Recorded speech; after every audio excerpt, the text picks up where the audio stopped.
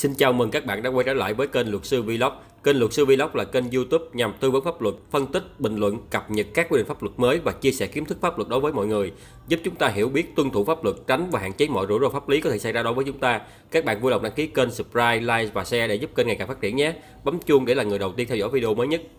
Chào các bạn, tôi là luật sư Vlog. Tranh chấp cái hợp đồng lao động là vấn đề nan giải và thường xuyên xảy ra ở Việt Nam nhất là tranh chấp về vấn đề đơn phương chấm dứt hợp đồng lao động giữa công ty và người lao động. Để đơn phương chấm dứt hợp đồng lao động đó thì theo quy định pháp luật thì có nhiều cách, nhưng nếu đơn phương chấm dứt hợp đồng lao động mà không đúng cách hoặc không đúng trình tự thủ tục pháp luật quy định thì hậu quả sẽ rất là khôn lường. À, sau đây tôi mời các bạn sẽ nghe qua một cái câu chuyện của một công ty rất nổi tiếng ở Việt Nam vừa phải bồi thường cho người lao động khi đơn phương chấm dứt hợp đồng lao động trái luật với số tiền bồi thường là khoảng 300 triệu đồng à, sau khi nghe xong thì chúng ta sẽ cùng nhau phân tích về vụ án này nhé Tòa án Nhân dân quận Thủ Đức buộc công ty Coca-Cola Việt Nam phải bồi thường hơn 300 triệu đồng cho nhân viên vì buộc người này là phải nghỉ việc trái với pháp luật. Ngày 14 tháng 7, Tòa án Nhân dân quận Thủ Đức thành phố Hồ Chí Minh đã mở phiên xét xử sơ thẩm chấp nhận một phần đơn khởi kiện của nguyên đơn là bà Phan Thị Thanh Xuân, 34 tuổi, ngụ quận Thủ Đức, thành phố Hồ Chí Minh, kiện công ty trách nhiệm hữu hạn nước giải khát Coca-Cola Việt Nam vì đơn phương chấm dứt hợp đồng lao động với bà Xuân.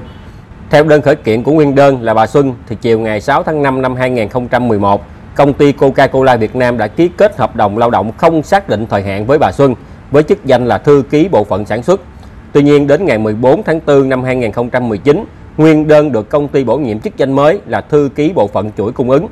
Quá trình làm việc, bà Xuân cho rằng là bản thân của mình luôn tuân thủ nội quy lao động, nội quy công ty, hoàn thành tốt nhiệm vụ được giao, chưa từng vi phạm kỷ luật lao động hay phải chịu trách nhiệm về vật chất ngày 8 tháng 7 năm 2019, bà Xuân được trưởng phòng nhân sự gọi vào phòng làm việc, yêu cầu đọc và ký biên bản thỏa thuận chấm dứt hợp đồng lao động do công ty soạn thảo, đóng dấu sẵn nhưng bà không ký vì cho rằng lý do công ty đưa ra là không thỏa đáng.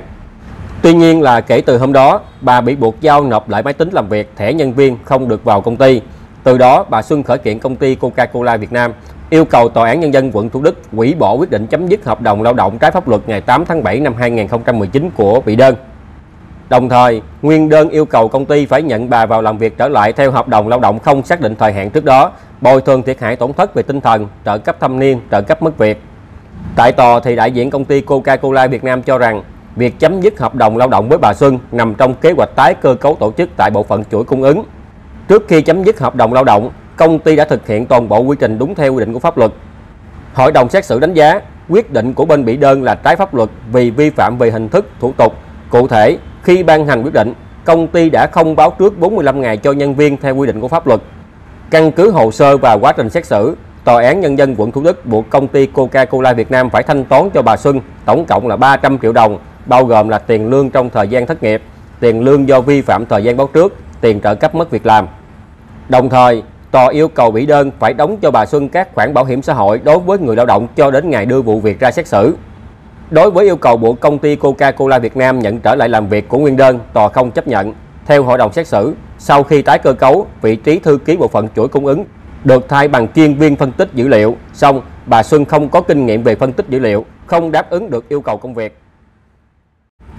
Qua vụ việc này thì tôi có hai ý kiến đối với các bạn cần lưu ý là thứ nhất á, là trong quá trình làm việc mà nếu chúng ta không muốn nghỉ việc thì không ai có thể ép buộc chúng ta ký bất cứ văn bản gì để chúng ta phải nghỉ việc cả và ví dụ như là biên bản hay là văn bản thỏa thuận chấm dứt hợp đồng lao động nè, đơn xin nghỉ việc nè, hoặc là các văn bản biên bản để bồi thường trách nhiệm của mình. Chỉ trong trường hợp các bạn muốn nghỉ việc thì các bạn tự ý viết cái đơn xin nghỉ việc thôi. Lưu ý là không ai ép buộc được các bạn nhé. Và cái thứ hai là một trong những lý do mà công ty Coca-Cola trong vụ án này đưa ra để đơn phương chấm dứt hợp đồng lao động với người lao động đó đó chính là tái cơ cấu tổ chức lại công ty. Thì đó là lý do chính đáng, chính xác theo quy định pháp luật nhưng họ lại vi phạm một cái quy định khác trong pháp luật lao động, đó chính là vi phạm về thời gian báo trước cho người lao động. Do đó là khi các công ty muốn đơn phương chấm dứt hợp đồng lao động, chúng ta sẽ lưu ý hai vấn đề này. Vấn đề thứ nhất là lý do đơn phương chấm dứt hợp đồng lao động là phải phù hợp với pháp luật. Thứ hai là thời gian báo trước để chấm dứt hợp đồng lao động, để cho người lao động họ có thời gian tìm công việc khác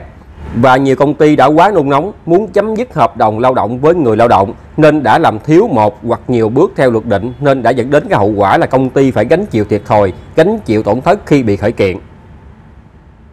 Xin chào mừng các bạn đã quay trở lại với kênh Luật sư Vlog. Kênh Luật sư Vlog là kênh YouTube nhằm tư vấn pháp luật, phân tích, bình luận, cập nhật các quy định pháp luật mới và chia sẻ kiến thức pháp luật đối với mọi người, giúp chúng ta hiểu biết, tuân thủ pháp luật, tránh và hạn chế mọi rủi ro pháp lý có thể xảy ra đối với chúng ta. Các bạn vui lòng đăng ký kênh, subscribe, like và share để giúp kênh ngày càng phát triển nhé. Bấm chuông để là người đầu tiên theo dõi video mới nhất.